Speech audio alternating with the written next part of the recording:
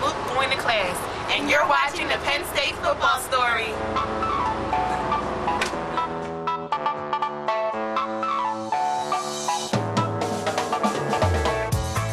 About to go to my 1010 Math 111 class in Sackett. So, hey, got to get ready for some equations, some math going on here. It's kind of tough, but I'm ready today. It's kind of early in the morning, but hey, I'm always prepared, just like on the field. I'm prepared in class, so. Sets up, long and deep, Deon Butler makes the catch at the Iowa 35, out of bounds at the 34, the first down, Validity Wise. We definitely joke with each other. A lot of guys have classes together, and you know, you compare your grades just like you compare your play on the field. So, you know, you want to be successful. So, uh, you definitely stay on each other about schoolwork. You gotta go about it almost like football. You have to, you know, you gotta prepare for things. You have to be efficient. You gotta, you know, you gotta turn things in on time. It's not that bad when you do the things the right way. I beat my teacher to class today. I'm ready. I'm ready to go. Yeah, you gotta be uh, gotta be at least 15 minutes early for everything. It's pretty much a general rule.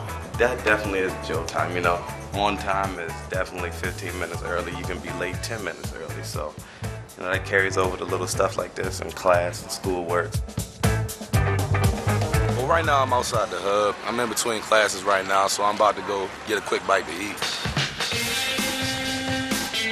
Academics mean a whole lot. I think Joe probably stresses that more than just about anything else in the program. He always wants to stress to make sure that we're always making sure that we stay on top of our academics, that we put our best foot forward in the classroom, and um, always try to give our best effort, you know what I'm saying, in uh, all of our academic endeavors. We're heading down Pollock Road here, going from the hub to uh, Willard Building, where I have a uh, Econ 433 class. It's uh, international trade.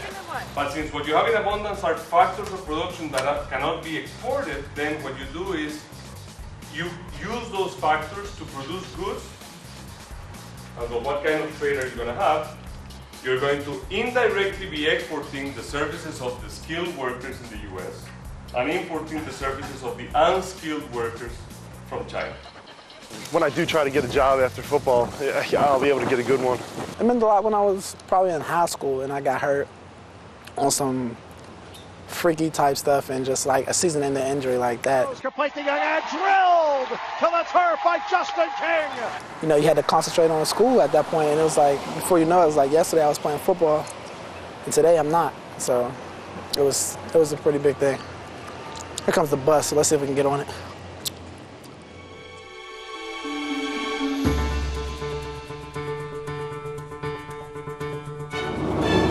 Some of us have classes with other people, so you know everybody's out to help each other. So it's never like uh, I'm better than you, so pick it up. Like it's more like if you need help, like we can get help if somebody's doing bad. But My, A good student. he's a really good student, really nice person too.